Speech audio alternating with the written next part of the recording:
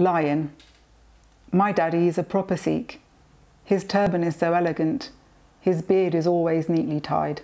I really think he's dashing. He wears his suits with such aplomb. I think he's more handsome than any other daddy. I love it when he's chanting prayers, so rhythmic and mysterious. He loves us more than life itself. Sometimes, though, I'm perplexed. His mood swings right from day to night, sweeps away our peacefulness in just a millisecond.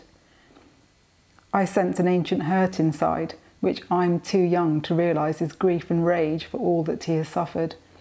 He never speaks about his trials, though one day I'll understand the wounds done to his soul and land. He had to leave his childhood home, his early life and all he'd known to flee from those he'd long considered brothers. For men in charge of India's fate made choices which turned love to hate. Untold millions fled their homes, rivers flowed with blood and bones, roads were paved with bodies.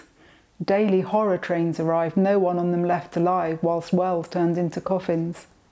Though Dad survived and life is good, it's not that long since India keened her dying song. Divided, wounded, never healed, Daddy never will be.